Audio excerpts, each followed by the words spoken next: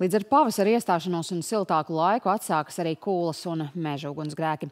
Ugunsdzēsēji tam ir gatavojušies. Valsts meža dienests savu autoparku papildinājis ar piecām jaunām meža ugunsdzēsības autocisternām. Pirmo auto šodien saņēma Zemgales virsmežniecība Jelgavas pusē. Izmēģināt to devās arī mans kolēģis Ģirds Virbulis.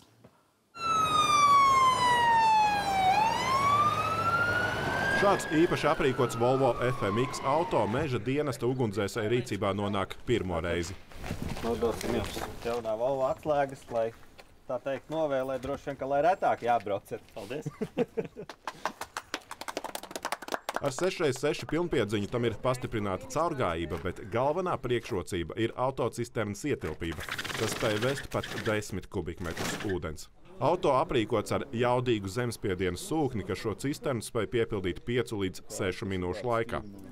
Ilgi jāgriež, bet tas ir ar nolūku. Nē, tas ir speciāli ar nolūku. Ja jūs viņu strauji atvērsiet, hidrodinamiskais trieciens būs tāds, ka tur tā šļauka būs taisna vienkārši. Un, uh, cilvēks, kurš būs galā, tai šļaukai var aizlidot.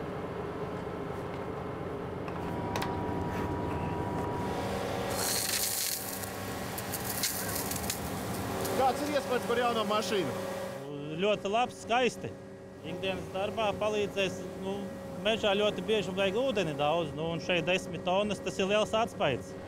Kopumā meža dienests iegādājies piecas šādas autocisternas. Tās bāzēsies Jelgavā, Ādažos, Ventspilī, Cesvainē un Daugopilī. Nerad meža ugunsgrēki izceļās uh, vietās, kur nav ūdens ņemšanas vietas vai dēļ sausuma grāvī dabiskās ūdens teicis ir ir, ir sausas, un tad uh, ar šādu ūdens daudzumu ļoti būtiski var atvieglot meža ugunsdzēsēju darbu. Meža ugunsdzēsēju atalgojums joprojām nav tāds, ar ko īpaši varētu lepoties. Taču vismaz darba apstākļi un aprīkojums pamazām kļūst tādi, lai šai profesijai piesaistītu jaunus interesantus. Girds Virbulis, Aigars Kauļevskis, Latvijas televīzija.